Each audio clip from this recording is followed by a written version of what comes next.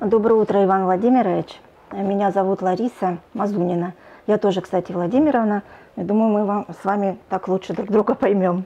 Очень приятно. А. Доброе утро. Владимирович, значит, вы одна, вот я как считаю, вы одна из темных лошадок э, в команде губернатора Коновалова. Пришли ниоткуда, не говорю, что уйдете ни в куда, никуда, но все-таки о вас известно очень мало. То есть вы пришли из железнодорожной отрасли, можно сказать, в автомобильную больше, да, отрасли. Вот. И, и еще известно то, что вы э, когда-то баллотировались в Аскизском районе от партии «Коммунисты России». Это, может быть, как-то объясняет ваше присутствие в правительстве. А, может быть, вам все-таки нужно было не менять эту отрасль? Вот сейчас назначен в желез... на железную дорогу бывший губернатор. А вот, кстати, как вы оцениваете его назначение? Вы имеете в виду назначение Виктора Михайловича Зимина? Виктора Михайловича Зимина. Ну, я считаю, что не мне, наверное, оценивать эти назначения. В любом случае, я думаю, что опыт и э, тот пройденный путь Виктора Михайловича, он будет, наверное, полезен для железнодорожной отрасли. Ну и надеюсь на дальнейшую совместную плодотворную работу. Я так думаю, что придется сегодня уже плотно взаимодействовать, потому что э, взаимодействие тут э, довольно-таки объемное строительство, все будет э, соприкасаться непосредственно с работой Минтранса. Скажите, вы еще достаточно молодой человек, 36 лет, как я посчитала. Вот. Расскажите, поделитесь секретом, как становятся министрами транспорта? Вы знаете, секрета здесь э, никакого нет. Э, и, ну, наверное, я сам был очень удивлен, то, что все получилось довольно-таки просто. Э, когда Валентин Олегович объявил о том, что кабинет министров будет полностью убираться, так скажем, на общих основаниях, я подал свое резюме, прошел собеседование и впоследствии был уже приглашен на конкретный разговор о назначении на должность. Поэтому вот это действительно, наверное, с одной стороны просто, а с другой стороны кажется невозможным. Поэтому какого-то, так сказать, секрета здесь никакого нет. Но все-таки секрет есть. Вот посмотрите, вашими конкурентами были, например, э, Сергей Тучкин, бывший генеральный директор аэропорта Абакан, Дмитрий Василиади, тот же ваш вот первый заместитель Иван Викторович Белоус. Ведь он пересидел всех министров. И на самом деле я думаю, что он достаточно грамотный, профессиональный, знает, наверное, эту кухню. Однако же все-таки выбрал ли вас. А, может быть, тайна кроется в том, что вы находитесь в партии коммунисты России? Нет, в партии коммунисты России я не состою. А, на выборы в Аскизском районе, а, так сказать, моя кандидатура была поддержана от партии коммунисты России. При этом в партии я никогда не состоял. Просто, наверное, имею такую активную жизненную позицию, не, не безразличен к тем вопросам, которые происходят в районе, которые происходят в регионе, э, и всегда, всегда стараюсь свою э, такую активную жизненную позицию проявлять, не оставаться в стороне. Вот вы пришли, значит, э, в свой коллектив. Вы сейчас немножко его уже изучили там за три недели, получается. Вам, кстати, с кем легче работать, с мужчинами или женщинами? Вы знаете, с женщинами работать тяжело, но я привык, опыт работы руководителем у меня есть, поэтому в Аскизе тоже на должности руководителя было не, не совсем просто. Поэтому я привык, и мне работать комфортно. А сегодня, придя в коллектив Минтранса, я вижу, что, в общем-то, это коллектив больших профессионалов.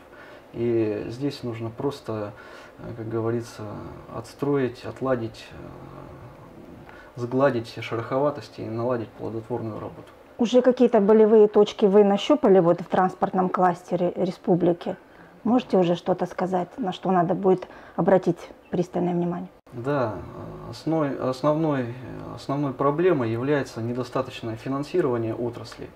Недостаточное финансирование отрасли. По прошлому году недополучен Э, недополучено ассигнований э, в рамках э, дорожного фонда порядка 550 миллионов рублей. Это, конечно, сказывается и на качестве ремонта, и на качестве содержания дорог. Сегодня существует э, большая проблема с кредиторской задолженностью перед обслуживающими предприятиями. И вот эта проблема на сегодняшний день является основной. Я буду заниматься тем, чтобы наладить, э, вот это, урегулировать нормативное значение финансирования отрасли и все-таки, наверное, вывести на новый уровень обслуживания, содержания автомобильных дорог. Вот если честно сказать вам, то вопросов к вам великое множество. Вот можно говорить, мне кажется, бесконечно с вами. Я вот хотела бы остановиться все-таки на нескольких, потому что не можем долго с вами говорить. Вот, э, а, национальный проект. Вот сейчас Хакасия заявилась на, на национальный проект. Вот про него немножко скажите, потому что цифра 3 миллиарда рублей, если я не ошибаюсь, мне кажется, достаточно маленькая. Вы знаете, действительно, я с вами тут соглашусь. Э, вроде бы, с одной стороны, звучит громко. Э, общий объем получается 3 миллиарда 160 миллионов 400 тысяч рублей. Э, сумма кажется великой, но с учетом того, что этот проект он растягивается на 6 лет и будет равномерное распределение средств на весь период, сумма на самом деле она небольшая. Поэтому хотелось бы иметь больше возможностей для ремонта. Те объемы ремонта, которые запланированы в рамках э, данного национального проекта, они, конечно, э, не э, совсем как бы то, что мы хотим на сегодняшний день и будем стремиться к тому, чтобы эти объемы все-таки увеличивать еще и больше. Если говорить про объемы ремонта, значит, это в рамках ремонта э, дорог межмуниципального и регионального значения на весь э, период запланировано значит, ремонт э, в объеме 70 километров дорог межмуниципального и регионального значения. В рамках городских агломераций, а у нас попала городская, Абаканская городская агломерация, запланировано 180 километров дорог ремонта. За 6 лет? За 6 лет. Получается уже за 5 получается уже за 5. Угу. До вот. 24 года. Кстати, вот когда наш президент Путин пришел к власти, он декларировал такую истину, что за 6 лет его правления, сейчас уже 5 остается, получается, а, нужно окутать Россию сетью дорог. Вот э, по-вашему, нужно ли окутывать Хакасию сетью дорог, или у нас достаточно этих дорог? Приоритетным направлением, если говорить о приоритетных целях, э, стратегических целях, э, я вижу на сегодняшний день две основные задачи. Это э, значит, передача в региональную собственность, вернее федеральную собственность дороги Абакан-Агдаурак – которая у нас граничит э, с Республикой Тыва, на сегодняшний день оно в, региональной, в региональном пользовании, в региональной собственности эта дорога находится. И, конечно, финансирование здесь другое.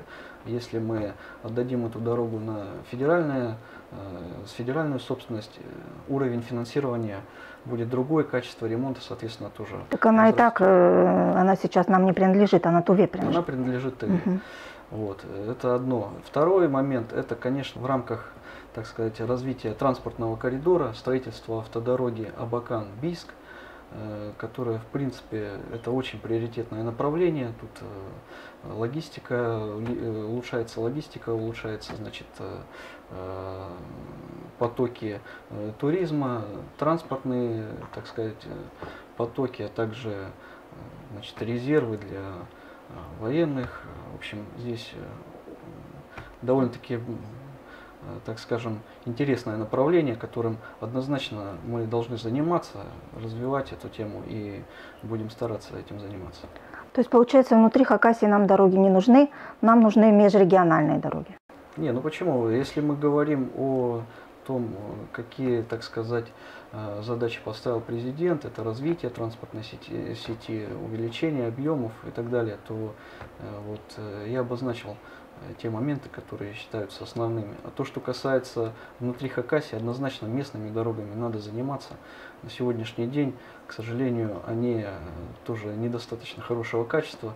Сегодня большие проблемы э, с нарушением веса нагрузки на ось и что приводит к разрушению дорог. То есть здесь взаимодействие с угольнодобывающими предприятиями однозначно будем выстраивать, потому что тех отчислений в бюджет, которые они планируют отчислять на ремонт дорог, конечно, недостаточно.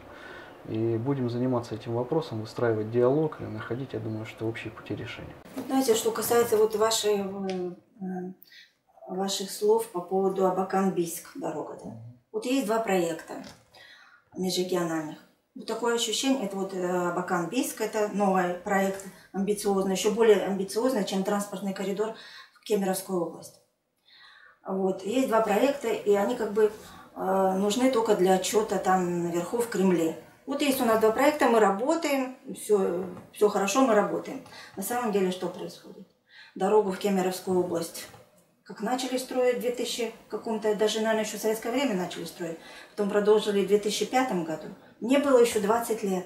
Я была счастлива, что начали строить эту дорогу, потому что я новокузнечанка. И я думала, что я буду ездить не на поезде ночью, а буду на дороге. Но ее как строили, так и строят.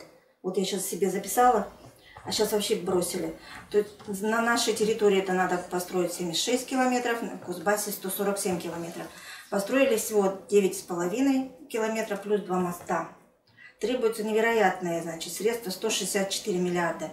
Плюс еще, то есть, э, а республике 9 миллиардов всего. То есть это вот вообще идея фикс, на мой взгляд, первая. Вторая идея появилась, идея фикс, это Абакан-Бийск. Вот кто-то, извините за выражение, какой-то умник придумал эту дорогу, а вся толпа, значит, ее подхватила. Только лишь бы был какой-то проект. Насколько вы реально считаете, оно будет построен транспортный коридор и в Кемеровскую область, и э, в Бийск э, через э, сибирские регионы там? Лариса Владимировна, я вам отвечу так. Угу. Эта дорога однозначно будет построена. С нами или без нас, тут только вопрос времени. И вот э, свою задачу приоритетную угу. считаю все-таки добиться этого в нашу бытность с вами, чтобы мы угу. по этой дороге проехали. Я думаю, что все реально. На сегодняшний день мы ведем работу угу. по достижению соглашений э, с соседними субъектами регионов, э, которые значит, заинтересованы в данном проекте.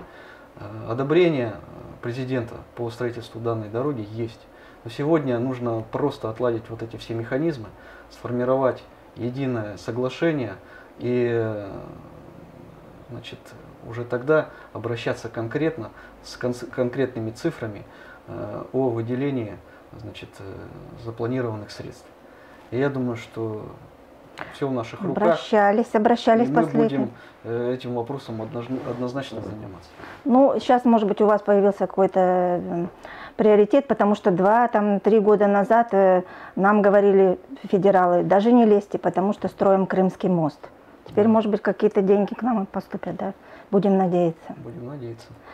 Ну, наверное, еще скажите, вот, э, может быть, несколько дорог, которые будут в этом году отремонтированы, или, то есть мы уже о новых-то не говорим, да, строительстве, а именно только о ремонте, которые в 2019 году будут отремонтированы на радость жителям республики. Э, большой объем ремонта, это порядка 11 километров в рамках э, городской агломерации Абаканской, будет проводиться uh работа по ремонту. И, значит, также в рамках нацпроекта будет отремонтировано 23 километра межмуниципальных дорог. Это дороги Абакан, Агдаурак, значит, в этом направлении Абакан, Бергчул, вершина Тюи. Также запланирована реконструкция вот э, также этого направления на вершину Тёи. Будет полностью там реконструирован участок в объеме 2,8 километра дороги. Будет построены два новых моста на железобетонной основе по 50 метров каждый длиной. Поэтому э, вот это основные направления. Ну, плюс, конечно, э, субсидирование муниципальных образований, то есть внутри муниципалитетов также будет работа проводиться.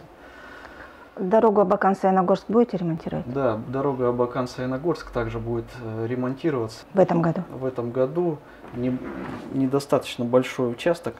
Э, будет отремонтировано значит, 2 километра дороги. Угу. И еще э, тоже в этом направлении 1,8. Но это разные километры, то есть 1,8 километра и 2 километра также. Угу. В завершение я хочу вам сказать пожелать не терять оптимизма на все вот наши трудности и выразить вам большой респект за ваше желание быть прозрачным, информативным, то есть вы, за ваше желание дружить со СМИ, потому что современные э, руководители, мы считаем, обязаны просто это делать. Спасибо вам большое. В свою очередь хотел бы обратиться к общественности э, с тем, чтобы люди не оставались в стороне и э, передавали информацию, доводили информацию до Министерства транспорта о э, нарушениях, о тех проблемах, которые вы видите в содержании дорог, которые вы видите там, э, еще какие-то моменты. У нас есть э, горячая линия, у нас есть телефон дежурного по Минтрансу. Также я веду прием по личным вопросам, всегда открыт для общения сегодня поставил такую задачу, чтобы мы э, сформировали свой э, профильный сайт, а в перспективе и э, приложение, мобильное приложение для работы с общественностью, куда можно будет оперативно доводить всю информацию, по ненадлежащему состоянию дорог. Также в, этих приложе... в этом приложении и в сайте планирую выводить всю информацию, необходимую для общественности. Это расписание автобусов, расписание движения поездов, электричек и так далее, а также оперативную информацию по каким-то запретным мерам, касающихся ухудшения погодных условий и так далее. Прошу э, обращаться и не оставаться в стороне.